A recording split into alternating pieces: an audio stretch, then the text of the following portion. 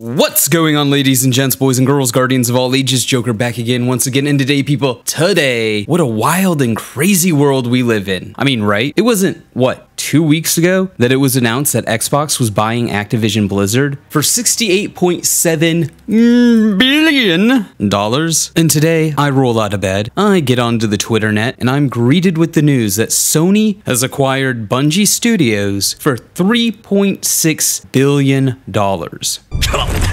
Say what? In their press release, Bungie states Bungie joined Sony Interactive Entertainment SIE. We believe that games have limitless potential, and that to do anything worthwhile in entertainment, we must bet big on our vision, on our studio, and on our incredible team of trusted creators who build unforgettable worlds that truly matter to people. In SIE, we have found a partner who unconditionally supports us in all we are and who wants to accelerate our vision to create generation spanning entertainment, all while preserving the creative independence that beats in Bungie's heart. Like us, SIE believes that game worlds are only the beginning of what our IPs can become. Together, we share a dream of creating and fostering iconic franchises that unite friends around the world, families across generations, and fans across multiple platforms and entertainment mediums.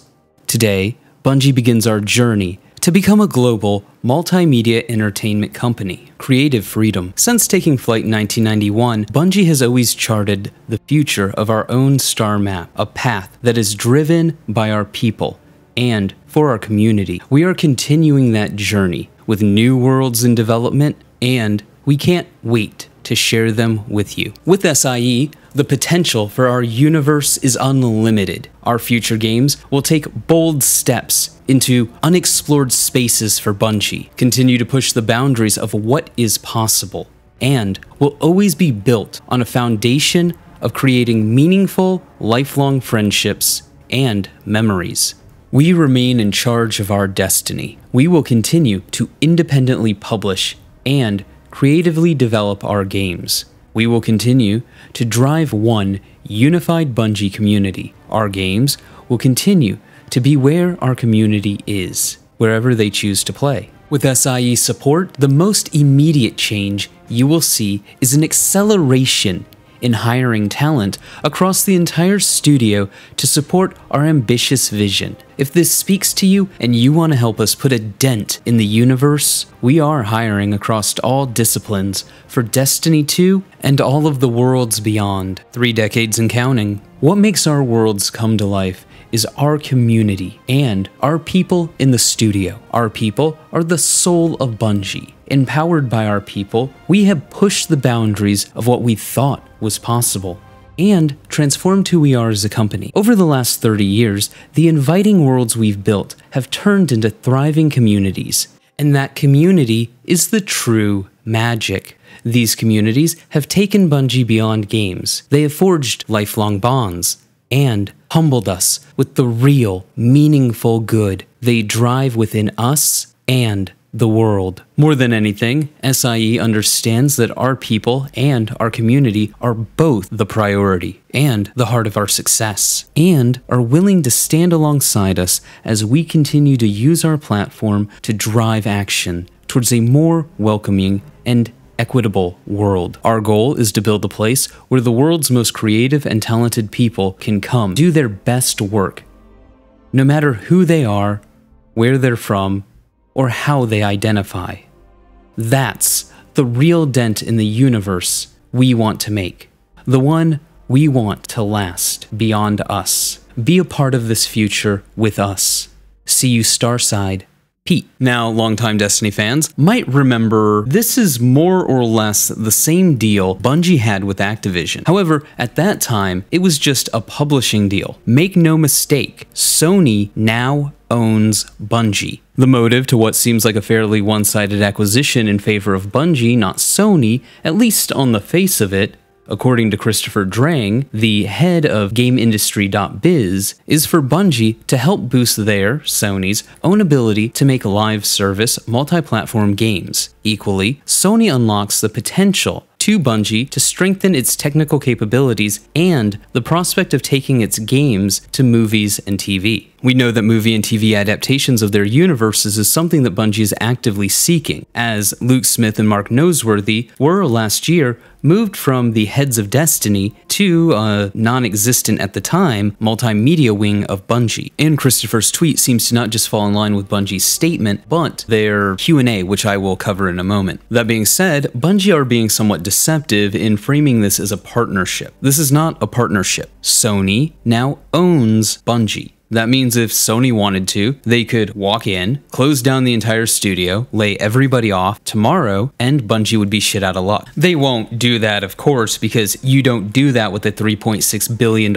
investment that you've acquired to help you build the infrastructure to create your own live service game platforms going forward. But it is important to remember that Sony owns Bungie. This isn't a publishing deal like it was with Activision, and we'll talk about that more in a moment. So what does this actually mean for the future of Bungie and Destiny? Well, in reality, the only answer we have is We'll see. However, Bungie did share a Q&A. Question: As a Destiny 2 player, does Bungie becoming part of PlayStation have any immediate impact on how I play and experience Destiny 2? No. Our commitment to Destiny 2 as a multi-platform game with crossplay remains unchanged. We want you to play The Witch Queen on February 22nd, 2022 on the platform of your choice. Question Will the Destiny 2 experience on non PlayStation platforms be impacted by Bungie becoming part of PlayStation. No, we want to maintain the same great experience you already have on your platform of choice. Question Will any announced seasons, events, packs, or expansions be changed or impacted by Bungie becoming part of PlayStation. No, Bungie retains full creative independence for our games and our community. Our plans for the Light and Dark saga are unchanged, all the way through the final shape in 2024. Question Will Destiny 2 The Witch Queen include any platform exclusives? Every player should have an amazing Destiny experience no matter where you choose to play. Question Will cross platform features like cross save, cross play, the Destiny 2 companion app, or third party apps like Destiny Item Manager, DIM, be changed or removed? No. Bungie's commitment to cross platform play and social features remains unchanged. We believe that games are the best shared with friends wherever they choose to play. We will continue to invest in new features and platforms. Question Bungie has future games in development. Will they now become PlayStation exclusives? No. We want the worlds that we are creating to extend to anywhere people play games. We will continue to be self published, creatively independent, and we will continue to drive one unified Bungie community. Question I play Destiny on Steam, Xbox, or Stadia. Will my platform still be supported?